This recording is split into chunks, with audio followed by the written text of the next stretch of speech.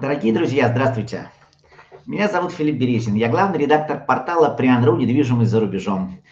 И с радостью начинаю наш, э, видимо, завершающий в этом году вебинар, посвященный зарубежной недвижимости. В этом году по понятным причинам их было как никогда много. И, э, в общем, это здорово, что интернет позволяет нам продолжать оставаться на связи, делиться с вами интересной информацией. Сегодня вебинар необычный, ну, просто потому что он проходит в такое не самое обычное время. И э, он и рождественский, и новогодний. Вот я даже елочку такую приготовил. Сейчас я ее все-таки, простите, ненадолго в сторону отодвину, поскольку ну, пространства здесь у меня не так много. Потом в нужное время ее верну.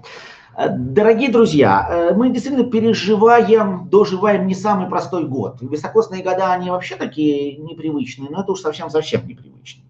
И на рынке, в том числе на рынках зарубежной недвижимости, он стал в каком-то смысле вызовом. Э, многие традиционные схемы пришлось менять, э, вмешалась где-то геополитика, закрытие границ, онлайн-сделки. Вот обо всем этом мы сегодня будем говорить. Будем говорить о характерных тенденциях, связанных с недвижимостью, будем разбирать их на примере конкретных стран и, ну, по возможности обобщать там, где обобщения будут уместны. В нашей программе сегодня э, принимают участие 12 экспертов. 12 получилось число такое символическое, можно сказать, что по числу месяцев. А с другой стороны, когда я уже готовился к вебинару, поймал себя на мысли, что есть какие-то параллели с фильмом Синди Люмита, ну или, может быть, с иным сюжетом Никиты Михалкова, когда происходит некий суд над годом, да, в, в нашем случае. Э, с каждым экспертом из 12 стран мы пообщаемся ну, не так много, 10-15, максимум 20 минут, но думаю, что главное мы осветим. Э, будем рады вашим комментариям, будем, будем, будем рады вашим вопросам. Наш чат работает. Запись вебинара на портале Прианру мы, разумеется, опубликуем в ближайшие дни. Ну а так задавайте вопросы. Итак, 12 экспертов, и я с удовольствием подключаю, э, вернее, прошу подключить нашего первого эксперта. Это Виктория Савченко, эксперт компании Future Real Estate и Century 21 из Словении. А, сразу скажу, что вот у нас должен был подключиться а, к нам Александр Танко а, из Словении непосредственно, но получилась легкая проблема у него, связанная с именно с коронавирусом, причем, слава богу, все живы-здоровы, но просто ограничения по выходу он не смог э, нормально настроить в том месте, где находился компьютер, и поэтому, к сожалению, он с нами сегодня присутствовать не сможет. Но вот вместо него будет Виктория, я надеюсь, через пару секунд она подключится. Виктория, вы с нами, э, включайте камеру, включайте микрофон. Отлично, Вика, привет, видишь, слышишь? Пока нет, пока только микрофон еще включи, и все будет хорошо. Вот теперь точно видишь и слышишь. Здравствуй, Филипп. Э, дорогие друзья, о какой тенденции, да, о чем мы можем говорить, когда мы э, ну, говорим вот о недвижимости Словении? Э, безусловно, в самом начале пандемии, когда говорили о кризисе, когда говорили о сниженном спросе, просто число сделок было объективно меньшим, одновременно центробанки, ну, в первую очередь европейские, американские, стали вливать деньги в экономику. И это в каком-то смысле повлияло на внимание инвесторов. То есть э, надо каким-то образом сохранить свои деньги. К сожалению, сохранять их в банковских депозитах в Европе уже несколько лет как невозможно. И, соответственно, внимание к инвестиционной недвижимости стало особым. Но тут некоторым образом сместился фокус. В каждой стране по-своему. Вот на примере Словении мы посмотрим, а что же здесь происходило. Э, я вывел некую тенденцию, как она мне со стороны показалась, и попрошу ее, Викторию, прокомментировать. Виктория, тенденция на самом деле такая. Сейчас кадр сменим и покажем. Итак, если мы говорим о Словении, то э, в значительной степени изменился подход к коммерческой недвижимости, потому что часть э, коммерческой недвижимости, например, гостиницы, оказались под понятным давлением. А вот, например, если мы говорим о нам, ритейле, то с ним более-менее все в порядке. Как это смотрится на фоне Словении, и можешь ли подтвердить, опровергнуть, что у вас вообще происходит сейчас? Спасибо, Филипп, за вопрос. А, действительно актуальная тема, и мне очень нравится ваш лозунг о том, что да, действительно, гостиницы пострадали больше всего. Здесь а, был ощутимый спад, и они, наверное, переживают действительно кризис, что нельзя сказать о ритейле.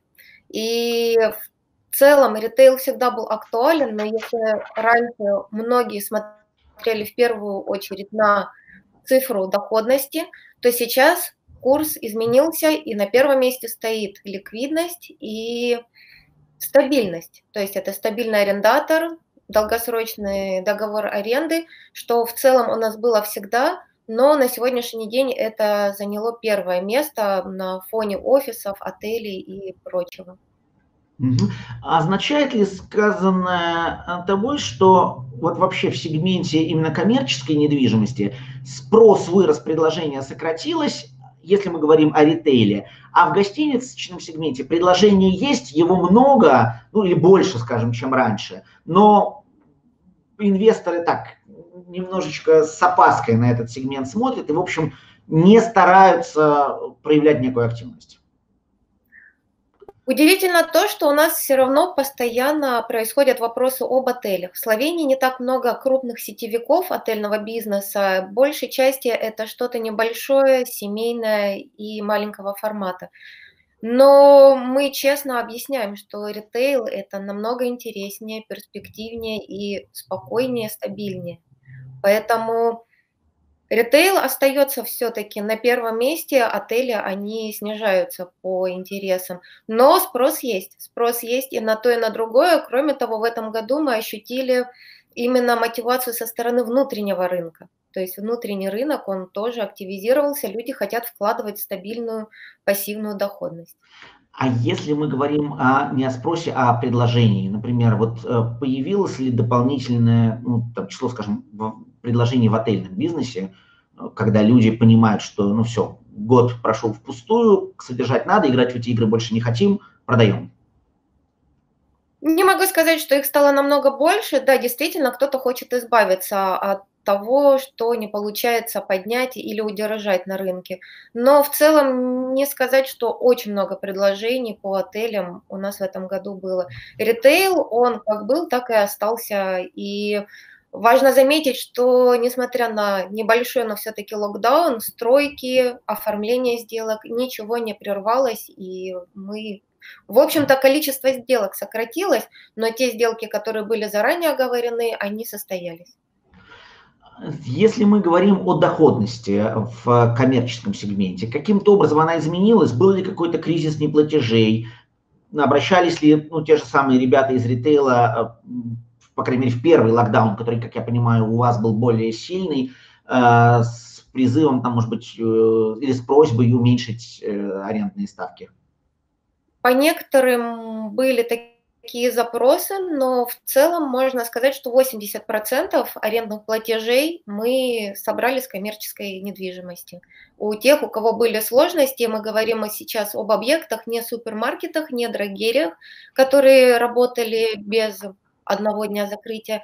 Это именно те магазины, которые пришлось закрыть, но между тем арендные потоки, они все равно 80% дали показатели. Э, маленькое отступление. Я хочу сказать, ну, чтобы примерно вы понимали, э, уважаемые зрители, как будет проходить наш сегодняшний марафон-вебинар. Значит, мы с каждым э, риэлтором, еще раз повторю, э, нашим экспертам будем говорить минут по 15-20. После Виктории мы будем говорить с экспертами из Кипра, Италии, Португалии, Объединенных Арабских Эмиратов. Это программа на ближайший час. Ну, а дальше буду постепенно новые данные обновлять. О какой доходности сейчас может идти речь? Вот э, надежный, сочный, вкусный ритейл это, в славянском формате. Это какие цифры? Это от 5 до 7 процентов без участия банковского финансирования. Говоря о банковском финансировании, мы увеличиваем на 2,5-3% эту доходность. Плюс мы также продолжаем заниматься девелоперскими проектами, которые более быстрые и уже принесут более серьезную доходность. Угу. Если вот, ну, мы показали два примера. Один это пример э, с ритейла, другой это гостиницы. Они, ну, с точки зрения там, текущего спроса в этом году находятся все-таки на разных полюсах интереса. А вот если мы, например, говорим про офисную недвижимость, э, насколько я знаю, вы, например, сами, э, ну, как компания, начали более активно работать именно в офисном сегменте. То есть, по, по вашим ощущениям, э, офисом все-таки быть в ближайшем будущем? Как это все трансформируется? Какие прогнозы здесь с вашей стороны? Думаю, офисная недвижимость просела не так сильно, как отельная или те же самые рестораны. Крупные здания с большими офисными э, блоками, они, конечно, тоже в какой-то момент дали сбой. И стали менее интересными, конечно. Но если говорить о небольших локациях, небольших зданиях с небольшими офисами, то здесь у нас есть пример того, как все состоялось, и в этом году Здание, которое мы реновировали и с вами сделали целый проект по этому поводу, а, он был заполнен полностью хорошими, стабильными компаниями. Какого рода компании сейчас интересны как арендаторы? Что за тип компаний? Ну, потому что, например, если говорят там глобальный IT какой-то, так ребят всех распустили по домам, в общем, они там сидят, работают. Понятно, что это очень общая формулировка, но доля правды в ней есть а кому по-прежнему интересно иметь офис и иметь такую связь с клиентом? Безусловно, это офисы, которые принимают клиентов у себя, и это еще возможно. И у нас есть э, также компании, которые обязательно должны принимать э, своих клиентов внутри офиса. Они работают, безусловно, внутри. Это стабильные какие-то крупные сетевики компаний, представительства, может быть, других стран, иностранных компаний. Это нотариальные конторы, которые также должны общаться с населением вживую. Это, пожалуй, самые стабильные представители офисной недвижимости. Плюс, как банки, мы говорили... Туризм. Банки, туристические, банки, туристические конторы. Банки, конечно, сто процентов. Туристические конторы тоже, пожалуй, перешли больше в офлайн режим. А как мы говорили ранее, словенцы, они все-таки не самые большие фанаты онлайн-покупок и большую часть времени все-таки проводят за покупками в супермаркетах, торговых центрах, и им, конечно же, актуальнее все-таки приходить куда-то в помещение, чем сидеть и с компьютера совершать покупки или услуги заказывать.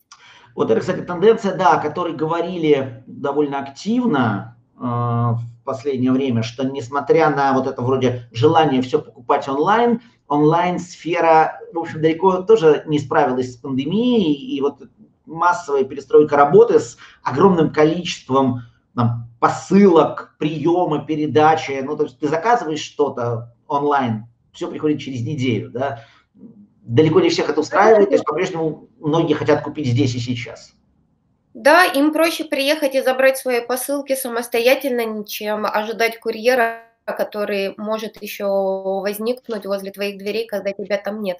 Поэтому остается все-таки актуальным поездка на пункт выдачи заказа, а не ожидание дома. Окей, ну и я вторую тенденцию, о которой э, несколько слов хотел бы сказать. Э, действительно, еще в марте было вот такое ожидание, что цены будут падать, цены будут падать. Сразу забегу вперед, про большинство стран, о которых мы будем говорить сегодня, э, в большинстве стран мне эту тенденцию придется в той или иной степени ну, разрушать. Э, тем не менее, статистика по Словении и вообще интерес к, к жилой недвижимости, как к Словении – вот последние данные, которые мы получили, они по Словении за второй квартал, э, когда ну, локдаун, по сути, первый локдаун был в самом разгаре, а потом уже заканчивался, рост цен составил 3%.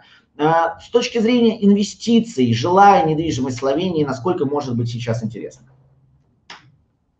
Жилая недвижимость Словении скорее интересна, если приобретать ее для себя.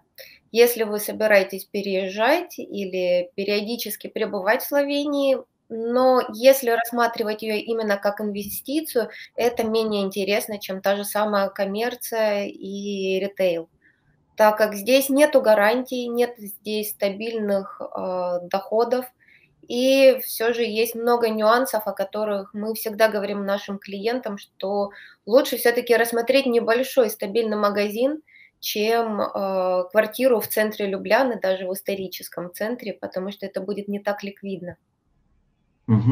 Ну что ж, э, дорогие друзья, два еще, две еще буквально коротенькие информации по Словении. Ну и э, подводя итоги, несколько слов хочу сказать и о нашей деятельности в этом году. Мы продолжали делать наши видеопроекты, как раз нашими с коллегами из Словении. Мы делали видеопроект, э, я думаю, ссылочку в чате вполне можно на него опубликовать.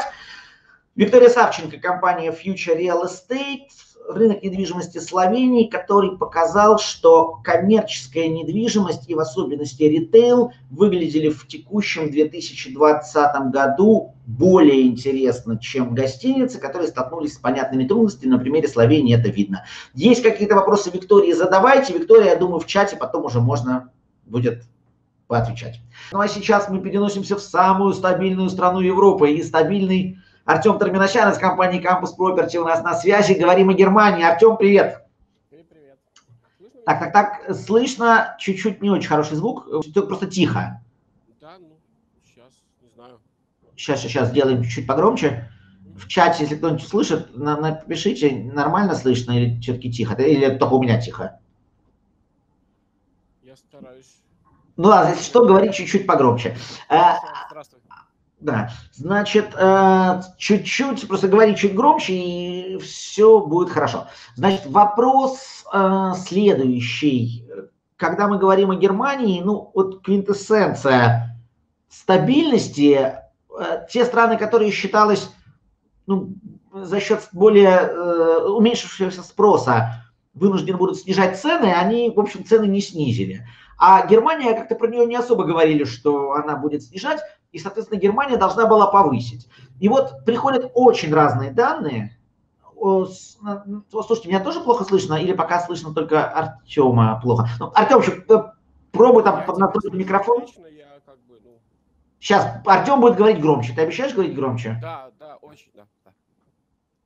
Э, ну или, может быть, если что, в крайнем случае выключишь гарнитуру. Ну, посмотрим сейчас, когда я тебе предоставлю слово. Показываю кадр, а ты его просто комментируй. Говорить будем вот об... Сложно немножко. О, да. Вот. Итак, это данные, которые пришли, то, там часть данных от немецкого Центробанка, а, это, речь идет о жилье. 12% цифра страшная, просто страшная. Так, Филипп, люди пишут плохо, меня слышат?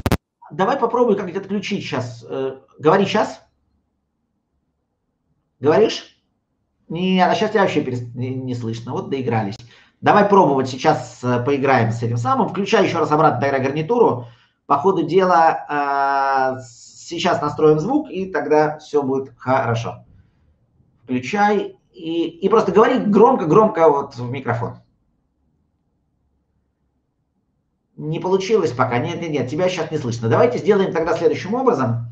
А, вот оставляй гарнитуру как есть на секунду отключайся и подключайся по новой, и просто не поговорить про Германию будет с преступлением. Пусть будет слышно плохо, просто микрофон будет держать поблизости. Не слышно тебя сейчас. Давайте а, на секунду выключимся. И сейчас а, Артем зайдет по новой, подождем буквально пару секунд. Ну так вот, э, Global Property Guide пишет о том, что в, в третьем квартале 2020 года раз-раз, да, говорим. Раз, раз Раз, раз. Все, лучше. Просто микрофон держи чуть ближе. Да, хорошо. Цифру. А, покажи мне, пожалуйста, слайд еще раз и начнем. Вот, а, смотри, значит, Роснефть, Германия. Все понятно. А, цифра 12%, на мой взгляд, это реальная цифра, но это цифра в среднем. То есть нужно очень смотреть по Германии.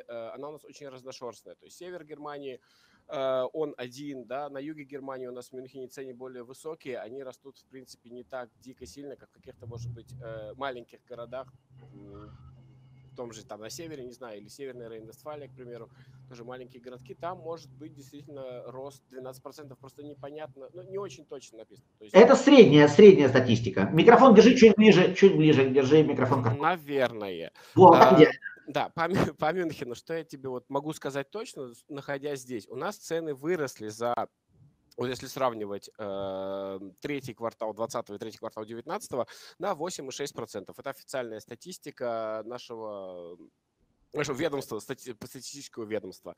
8,6% пожилой.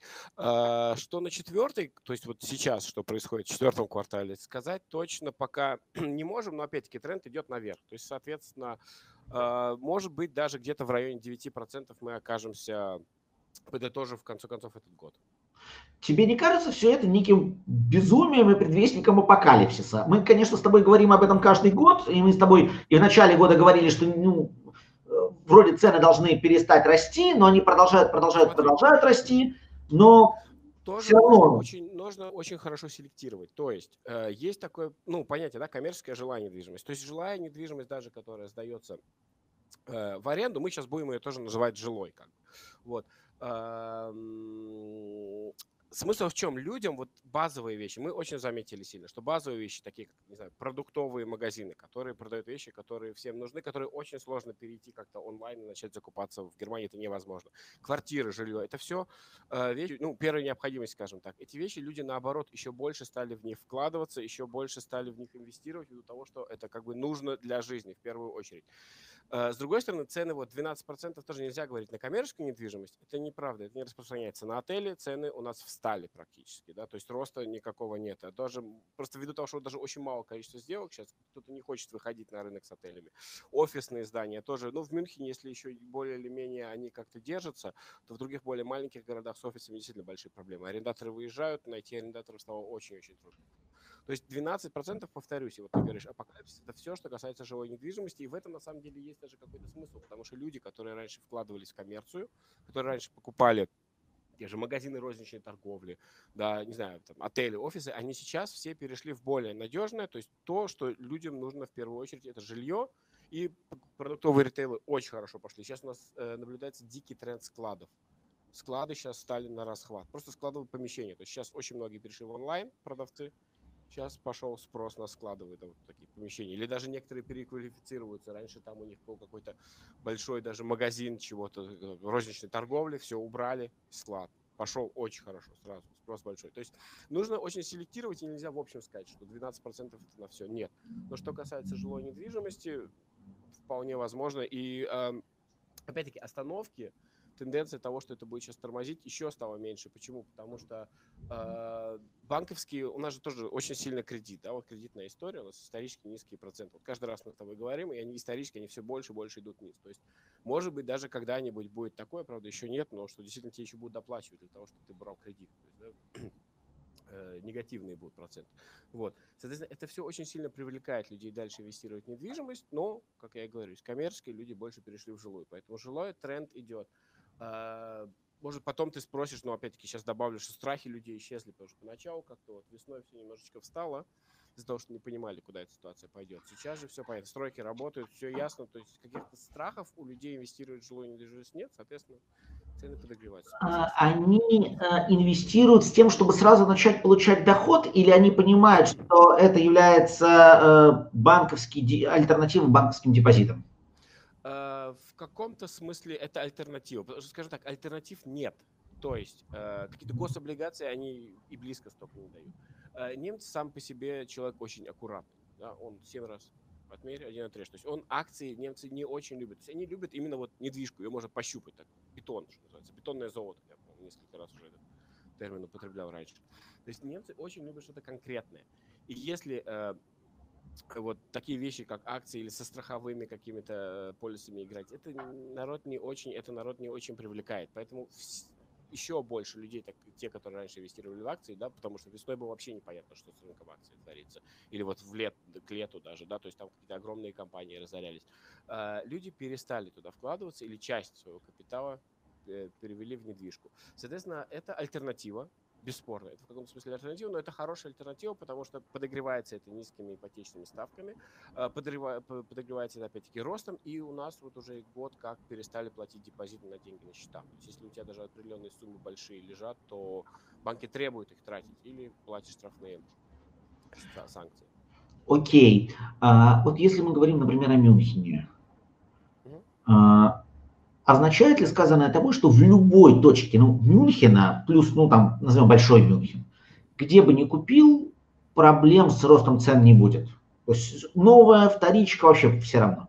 Безусловно, даже э, вот это, как ты сказал, вокруг Мюнхена, это сейчас стало у нас одним из самых интересных мест вложения. Почему? Потому что все-таки хочешь не хочешь, а пандемия, ну, сыграла свою роль.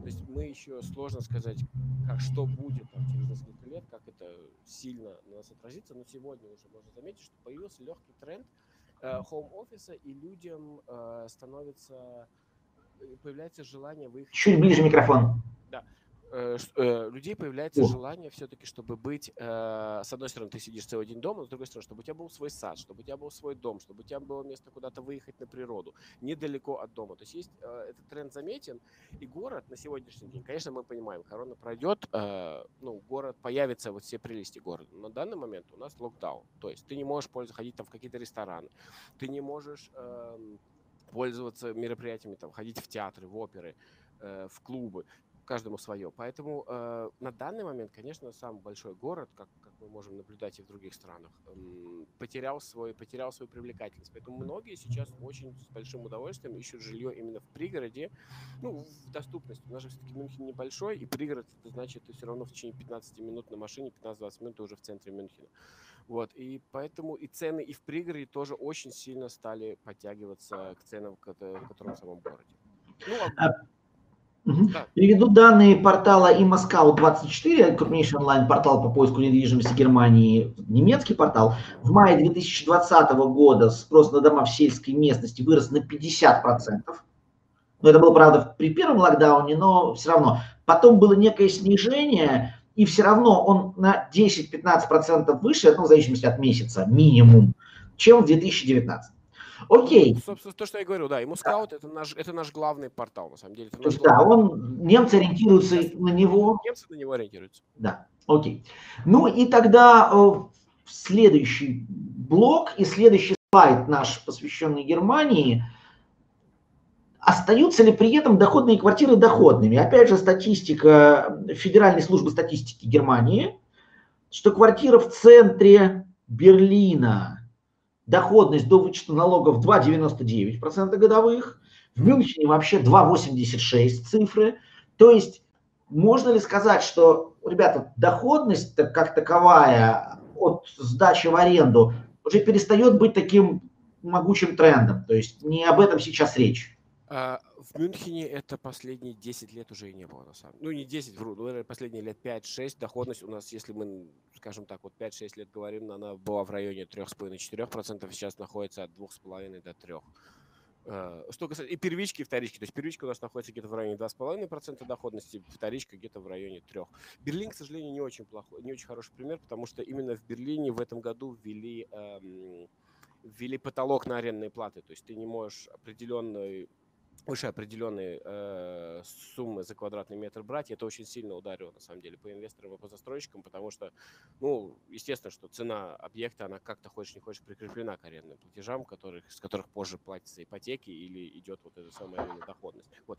А в Мюнхене она всегда была в таком районе. Это связано ну, с достаточно высокой ценой покупки и капитализации. То есть у нас всегда, даже все наши расчеты, которые мы показываем нашим клиентам, это капитализация на 10 лет эм, в принципе, и за эти 10 лет, ну, человек вот именно с, с учетом роста капитализации, со взятием кредита э, по низкому проценту, да, можно получить в районе 7-8% на свои вложенные деньги. Но это именно не от сдачи в аренды, а именно вот когда ты в расчет включаешь стоимость роста объекта. Окей. Ну и тогда на самом деле может быть ключевой вопрос. Э, означает ли сказанное тобой, что по большому счету сейчас с практически закрытыми глазами, ну, в Мюнхене совсем закрытыми, а в других местах там в полузакрытыми глазами, ты можешь пойти, взять практически любой объект, ну, за исключением, может, совсем каких-то развалюх и более-менее адекватный по цене, э, и в итоге получить черти что, то есть как бы гарантированный успех.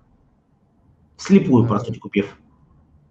Ну, повторюсь, что касается коммерческой недвижимости, да. Если мы говорим о жилой недвижимости, все-таки мы всегда советуем нашим клиентам хотя бы Куда-то пропал Артем, по крайней мере, у меня пропал. Попробуем. Он только хотел дать какой-то замечательный совет и на секунду куда-то делся. Но ничего, надеюсь, сейчас появится и вернется к нам. Буквально несколько секунд подождем. А я пока хочу э, Вот, а, похоже, что я хочу уже никому не важно. Сейчас он вернется к нам. Привет, привет. Не знаю, на что ты там нажал. Подожди, подожди, подожди. Микрофон включи. Включи микрофон. И после этого говори. Потому что твой совет очень-очень интересен.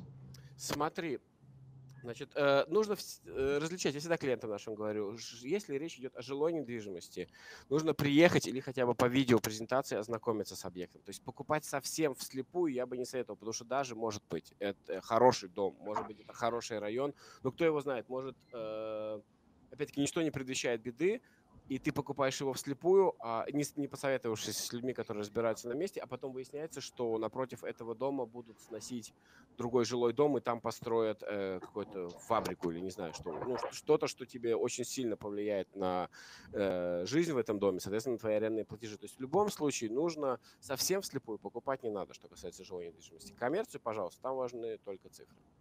Окей. Ну и вопрос вот от Марии. Э, закон об арендной плате в Берлине, действует ли он на меблированное жилье?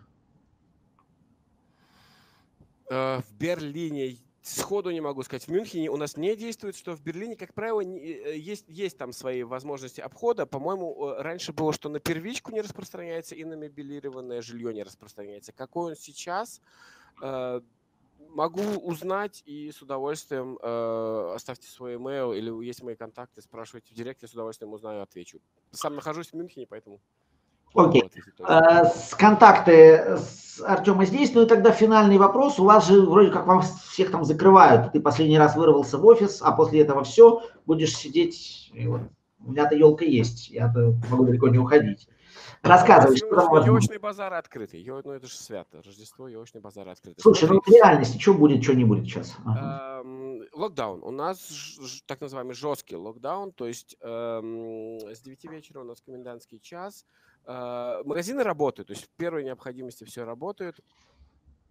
Э, там аптеки, продуктовые, оптика, это все работает. Конечно, рестораны работают там только на вынос. То есть, как я уже говорил, на сегодняшний момент ну, кайфа от Мюнхена особо небольшого, потому что город закрытый. Но мы ожидаем, что в середине января, ввиду вакцины, опять-таки не надо забывать ее, все-таки у нас хотят уже сейчас на следующей неделе начать э, прививать пожилых и врачей. Вот. И все-таки на эту вакцину, хочешь не хочешь, есть у нас эм, ну, возлагаются большие надежды.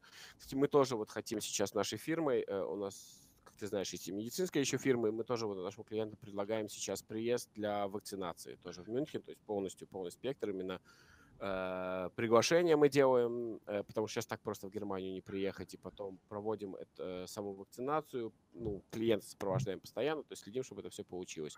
Вот как раз, кстати, об этом, да, и как раз хотел сказать, некоторое время назад мы подготовили материал на Prian.ru, я думаю, что ссылочку через некоторое время мы в чате опубликуем о том, как эта история работает. Ну, в Германию так в лоб въехать сейчас нельзя, хотя даже, по-моему, прямой рейс из Москвы во Франкфурт периодически летает. Но... Да, в Мюнхен летает прямой. Я вот сейчас летал прямой Мюнхен-Москва.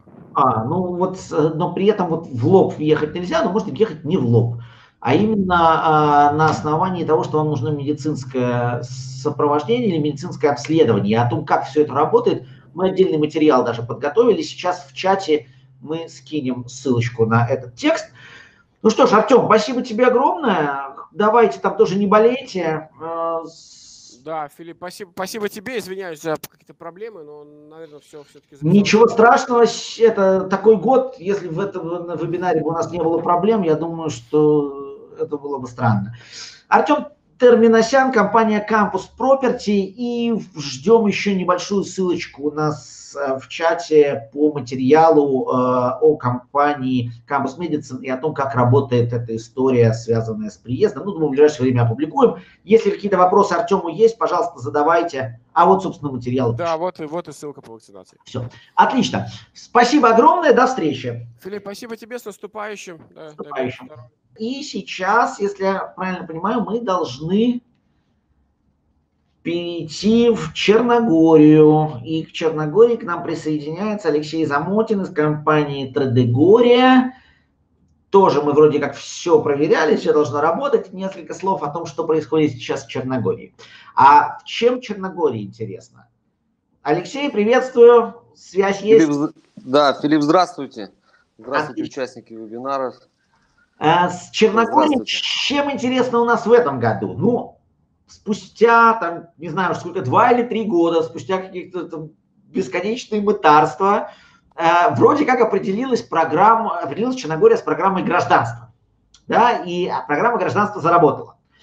Вопрос к вам, как к риэлтору, пока я готовлю слайд. Вот в реальности эта программа как-то на вас повлияла или по большому счету никакой разницы для вас, как для компании, которая работает на побережье в основном, да, ничего нет, никакой разницы.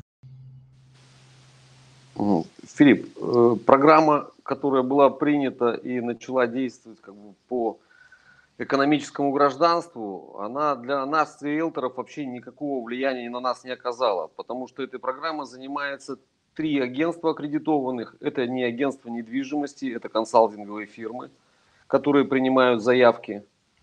Аккредитацию они получили от предыдущего правительства Черногории. Сейчас у нас изменения прошли в этом году, вот по осени у нас прошли выборы, где выиграло новое правительство, но сменилось полностью, весь состав сменился правительства и стали меняться некоторые законы и приоритеты. Приоритеты Евросоюза, они остались те же, но к гражданству новое правительство относится немножко сдержанно, можно сказать, даже не сдержанно, а, я бы сказал, отрицательно, потому что э, что, что как бы вот последнее время прошло? Прошел митинг граждан Будвы против строительства парке Милочер, это историческое место, под охраной находится государство вот этого комплекса. Который подходил по программу гражданства. Да, который подходил именно по программу гражданства. Жители вышли и провели митинг. Это правительство увидело, что люди не заинтересованы в этом, ну и тем более обратили на опыт Мальты и Кипра. Что же там происходит? потому что государство уже в Евросоюзе, Черногория стремится в Евросоюз, и как бы, наступать на те же грабли не хотелось бы, как понимаю, молодому нынешнему правительству. И программа эта, в принципе, на нас вообще никак не повлияла, что она была, что ее нет. На рынок Черногории и на, на агентство недвижимости никакого влияния не оказала. Вот как раз тогда давайте, а что же повлияло в текущем году на э, рынок Черногории? Такой общий вопрос. А э, ну, просто для тех, кто, может быть, не совсем знает, э, программа Черногории интересна тем, ну, уникальна тем, что ты можешь купить не любую недвижимость, подходящую по каким-то ценовым параметрам, а только определенные проекты. Вот если ты купил в этих определенных проектах, и, ну так, далеко не все эти проекты считаются ну, такими флагманами рынка и э, в действительности находятся в тех местах, которые россияне там, ну, или вообще любые граждане традиционно в Черногории примечают. Алексей, что тогда повлияло, что определило вот ход этого года в Черногории? Ну, ход года, как, бы, как, как и у всех, определил его, пандемия определила тут. Да. То, что количество, первоначально у нас лето, часть лета было, были закрыты границы. Новое правительство, изучив опыт предыдущий, решило не закрывать на новогодние праздники, не вводить жесткий локдаун. У нас не закрываются границы, к нам можно приехать. Единственное, вот по последним данным, с 25 числа въезд в Черногорию с тестами, с отрицательными, ага. понятно. Ты должен за границей его сделать и потом... Да, ты должен сделать его тест не более 72 часов, ты должен сделать, ну, 72 часа достаточно, в принципе, с любой точки мира добраться до Черногории. Угу. Ты должен с тестом. Также на новогодние праздники у нас сейчас нов, новые правила введены. У нас комендантский час, он сейчас и есть с 22 до 5 утра, он так и введен, остается комендантский час. На праздники новогодние нельзя перемещаться между муниципалитетами. Угу. Это 24-25 католическое Рождество, потом 5 6 6 7 ну и понятно там праздники предновогодние и новогодние. Так что можно сказать, что нам увеличили просто каникулы. Магазины у нас работают, торговые центры у нас работают. Кафе, рестораны не работают только в праздничные дни а так они работают с 7 до 20. Скажите, а как это сказывается вот на вашей риэлторской работе? Вот приезжает, допустим, человек, который... В Черногорию приехать-то можно. Для россиян, во-первых, граница открыта, а во-вторых, ну, прямых рейсов нет, но через Белград, через Турцию приезжают, приезжают, как я понимаю. Да, едут люди, конечно. Приезжают люди, кто приезжал летом, они были вообще довольны и счастливы, потому что нет пробок, все свободно, все пусто. Цены понимаете, сами были настолько достойными, что люди очень все понравилось, кто, кто смог добраться сюда летом. Угу. Покупательская способность. Люди, недвижимость, здесь, видите, в Черногории очень много владеет раз, из различных стран людей недвижимостью. Страна не такая большая. Россияне продавали, покупали. Турция также участвует очень хорошо. Европейские страны, потому что, опять же, Черногория в Европе стала известна в связи с тем, что у нас летом мы стали фри на несколько дней страной, в которой не было ни одного зараженного коронавирусом. Ага. И опять же в Европе нас узнали об этом, потому что так же, как и в России, немногие знают, что есть такая Черногория, что такая страна существует вообще. И вот люди стали приезжать, европейцы ехали в основном на автомобилях, в летний, в летний-осенний период приезжали.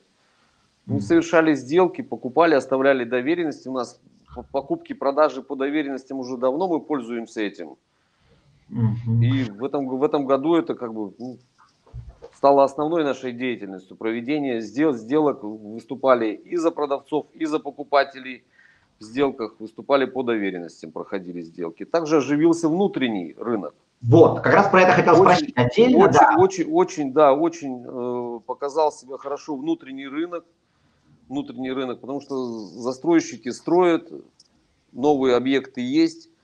Цены, конечно, немножко упали, но не во всех районах не во всех районах, это вот в районе Будвы, там цены некоторые застройщики как бы привели к нормальным, нормальным... То есть, привели ну, к были, как? Знаете, как, как бы я как бы сказал, Будва это сердце туризма, это раскрученное место, это пафосное место. И застройщики на основе этого немножко надували свои цены. Не все, не говорим о всех, но некоторые были. Ребята подскинули цены, они продают, ничего не стоит на месте, продажи идут не в таких количествах, как это было ранее. Не говорим о том, что такой же всплеск. Но интересные предложения в течение двух-трех дней распродаются всегда. Насколько? Насколько э, цены, вы сказали, вот они начали снижать? Это там, 5%, 10%, это какие-то особые условия, какие-то ну? Ну, в некоторых, видите, за некоторые застройщики сниз, снижали и там до 15-20%. Это вот районы, я говорю, Будвы, Бечичи, те, те районы центральные. Вот. В принципе, та же Подгорица, центр, там цена и так, в принципе, 1100 по квадратному метру евро, там цены не менялись сильно, они как остаются, там очень хорошая покупательская способность, именно местного рынка хорошая покупательская способность. Вот на севере тоже цены не сильно поменялись, там у нас 600 евро квадратный метр стоит. У нас два курорта, где мы именно предлагаем различные предложения, как земельных участков, как коттеджных домиков, таких вариантов. Там цены 600 евро по квадратному метру, они не падали. Так что так вот. А скажите, э, вторичка, э, вот в такие моменты, ну, некоторые страны говорят, что, ребята, у нас э, ну, появилось довольно большое количество людей, которым срочно надо было продать. Кто-то говорит, нет, таких людей, ну, не так уж много, и собственники готовы подзажаться. Как эта ситуация складывалась в Черногории последние там, ну, 4-5 месяцев?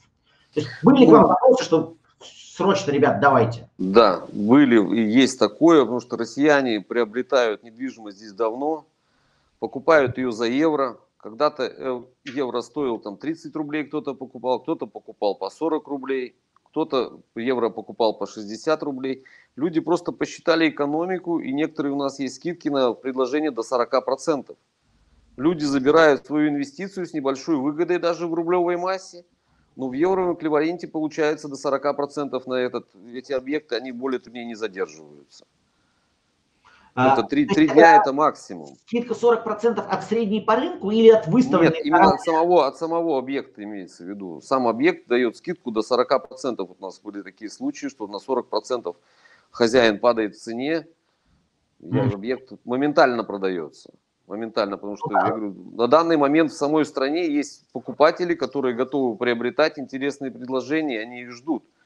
Многие продавцы убрали свои объектов, именно дорогой недвижимости, дорогих объектов убрали вообще с рынка, потому что началась ну, не то, что даже, можно сказать, провокация даже начали провоцировать, вот пандемия, снести цену, вот вам такое, такое, и люди понимают, что они не хотят снижать, что объект стоит этих денег, за которые они продают, и они просто, вот у нас есть некоторые объекты, которые до июня следующего года сняты с продажи. Угу. Есть вот такие это, варианты. Это на вторичке в основном, да? То есть... Это на вторичке, да, это вторичка. А вот разрешение на строительство новых строек сейчас становится больше? Я имею в виду те, которые не связаны там с э, программой гражданства и так далее. Ну, меньше не становится, меньше не становится. Строители, инвесторы как строили, так и строили. У нас территория небольшая, особенно прибрежные зоны. Земли, земельных участков привлекательных не очень много. А инвесторы едут с разных стран. И строятся, да, строят, строятся, получают разрешение в различных местах, причем на побережье, в различных городах, и не только на побережье, получают, строят новые объекты, мы получаем новые предложения. Все как бы ничего, ничего не остановилось. Единственное, произошло небольшие подорожания металла. Сейчас вот застройщики пытаются, как бы знакомые, они пытаются закупить металл на следующую, потому что обещают, что с января месяца будет еще подорожание на железо.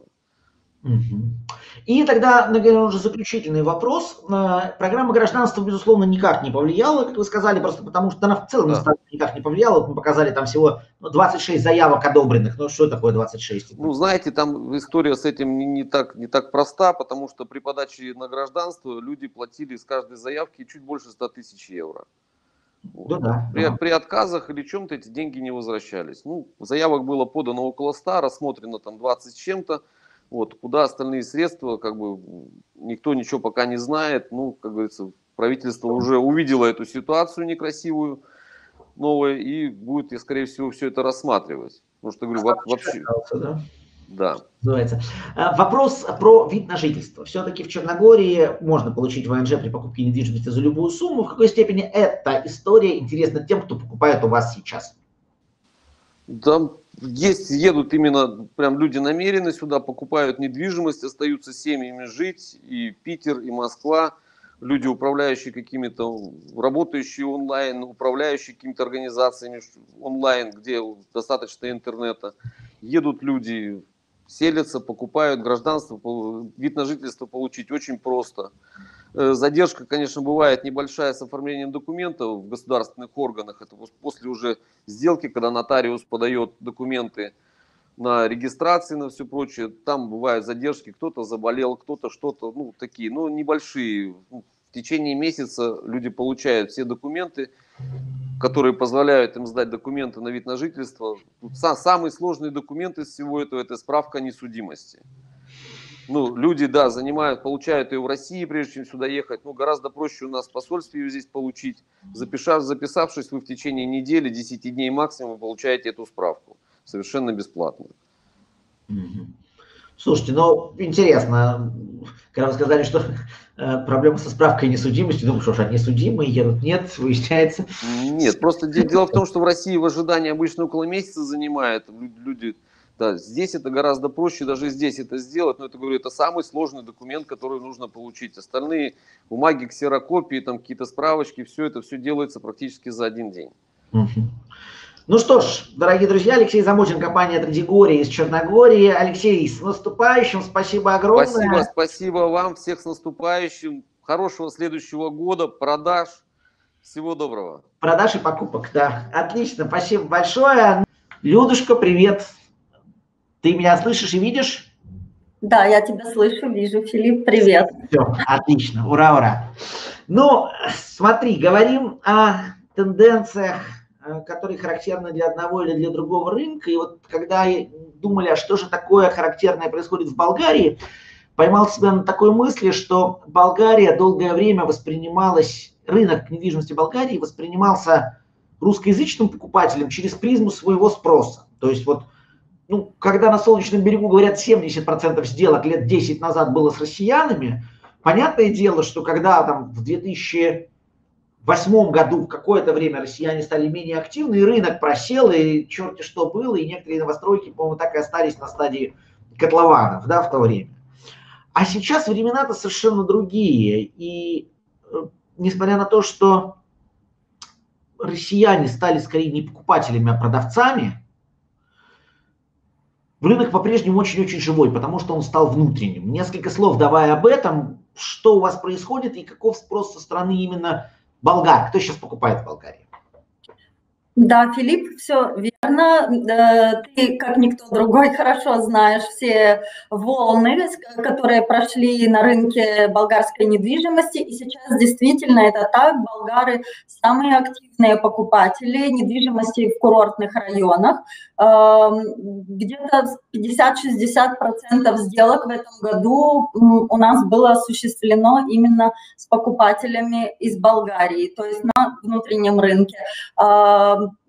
Продают сейчас, да, в основном россияне. Ну вот, э, и, ну есть, конечно, и другие покупатели из Восточной Европы, это э, поляки, румыны. Опять же, ничего сильно нового с последнего нашего вебинара весной, да, в начале пандемии вот этой всей ситуации э, не изменилось. Продолжают покупать граждане из Восточной Европы, ну и также из стран Западной Европы и Израиля тоже. А сам рынок э, как изменился? Я имею в виду э, количество предложений, например, на первичке, на вторичке. Опять же, с учетом там, пандемии говорят, что э, ну, спрос по-любому несколько меньше, потому что не все могут приехать, а если не приехал, не увидел, не посмотрел, так и покупать не будут. Да, из-за ситуации, огранич... Э, связанной с ограничениями в передвижении и всеми вот этими трудности, вот эти с логистикой, да, с проведением осмотров, это, конечно, повлияло, оказало некоторое влияние на настроение как продавцов, так и покупателей. Люди э, решили занять выжидающую такую позицию, выжидательную позицию, немножко повременить, кто с покупкой, кто с продажей, но те, кто э, действительно планировал и хотел продать в этом году, это остро стоял этот вопрос на повестке дня, они продали, даже независимо от того, что не смогли приехать лично на сделку, все возможно сделать дистанционно, как я уже много раз говорила и писала. А, и также самое и покупатели тоже покупают дистанционно. У нас в этом году очень интересно, но было и не так мало покупателей из России, которые тоже осуществляли сделки дистанционно. Но это, как правило, те люди, которые хорошо знают рынок, знают, что им надо, знают цены, места, и они поэтому более смело действуют в этом направлении. А по количеству сделок, вот могу сказать, что в этом году спад э, в продажах есть, но он не такой, как э, э, некоторые прогнозировали, что там будет крах и вообще все остановится. Процентов на 20. Вот я сейчас посмотрела, сравнила 2019 и 2020 год по количеству сделок на 20% снижение есть. Цены остались прежними, они не упали ниже, но и не выросли. Вот, как раз о ценах я как раз хотел с тобой отдельно поговорить. У нас есть этому посвященный следующий кадр.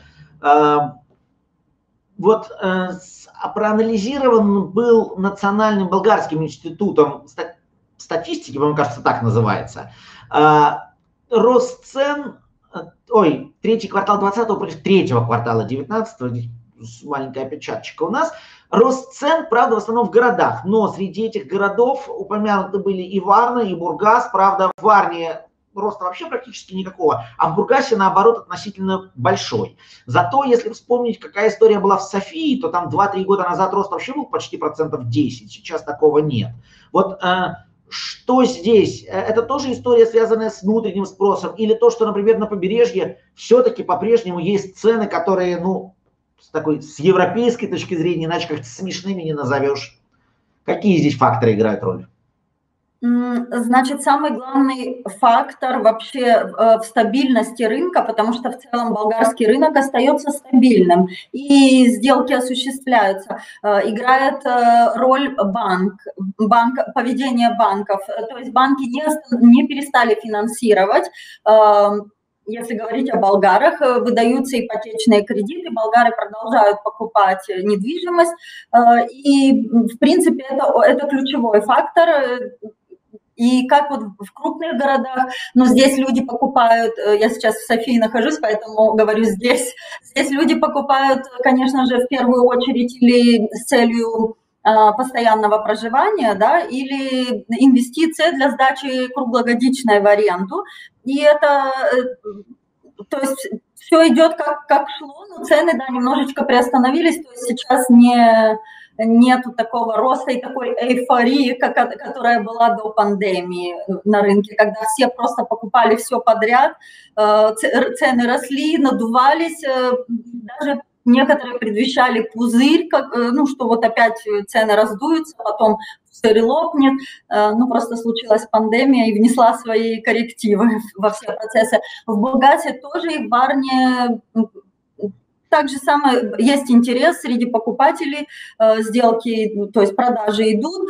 Э, курортные районы, там ключевой фактор в курортных районах – это то, что э, туризм из-за пандемии, то есть он понятно, что его не было в этом, да, он сильно, значит, спад большой в туристическом секторе, и, соответственно, люди, которые приобретают недвижимость на, в курортных районах, они ее приобретают или с целью там, с, приезжать с семьей на, на какое-то короткое время, на время отдыха, в другое время сдавать в аренду в сезон.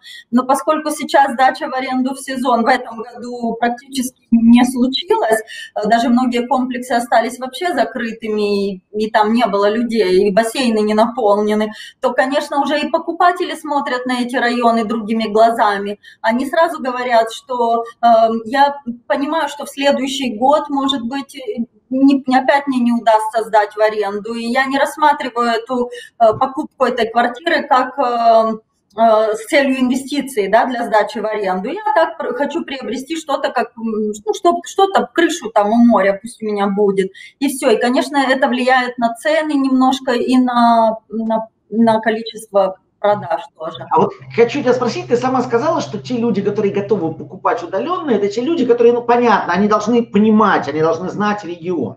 Но при этом кто знает регион лучше, чем сами болгары, да? Понятно, что уж каждый из них наверняка нам пару раз на Солнечном берегу-то побывал. Вот э, та информация, которая, наверное, будет интересна продавцам в первую очередь. Вот болгарский покупатель, он какой? Он э, более придирчивый, он будет торговаться до последнего, а, ну, тем более, что у него-то, понятное дело, ну, он там живет, у него выбор гораздо больше, и да. пространство для маневра посильнее. Болгарский покупатель, э, он в первую, он, во-первых, сейчас для себя вновь открыл э, свое родное побережье, потому что болгары были немножко в последние годы э, из, избалованы, может быть, тем, что Греция у нас рядом, и люди привыкли ездить в Грецию и постоянно делать какое-то сравнение болгарского побережья с греческими островами и там разными прекрасными курортами.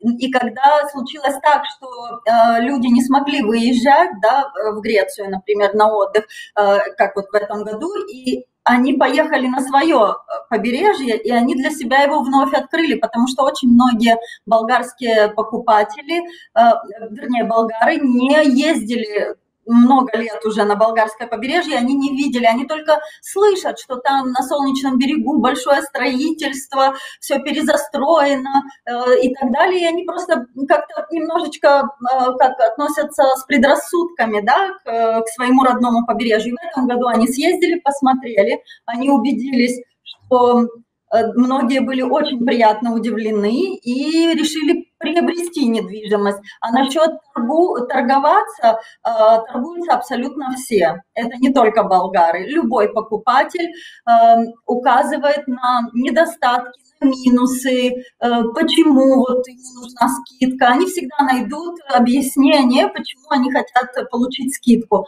А у покупателей совсем другая теория. Покупатели рассказывают о том э, обычно, что ну, э, ориентируются на то, какую сумму они потратили при покупке, э, какое, как они свое жилье обставили очень там как-то особенно. Это, ну, в общем, они рассказывают, у них своя история, у покупателей своя история. И, как правило, любой продавец получ... Э, продать подороже, покупатель купить подешевле, скидки все просят, ну и истина где-то посередине, как okay. только это все сойдется в одной точке, сделки осуществляются. Ну и скажи тогда, э, что у вас сейчас с пандемией и что говорят, какие есть прогнозы, ощущения по поводу ближайших месяцев и, возможно, ближайшего полугода на что рассчитывать? Э, значит, завтра, насколько я слышала сегодня, ну вот у нас в новостях и везде, э, вакцина начинает движение в сторону Болгарии, то есть буквально с 27 декабря уже начинается урегулированная вакцинация да, людей, прибивание, и есть так, такие прогнозы, что где-то к маю месяцу уже большее количество населения будет э, вакцинировано, и мы потихоньку начнем преодолевать эту медицинский этот кризис, эту серьезную проблему. Сейчас, конечно, ведется большие, большие такие обучительные там лекции, э, все фарм, фарм, фармо, фармацевты рассказывают, э, э, убеждают, пытаются убедить людей, поскольку вакцина будет не обязательной, бесплатной и только по желанию, но, конечно, людей, людям объясняют, что это важно сделать, ну, с той целью, чтобы большинство людей все-таки привились.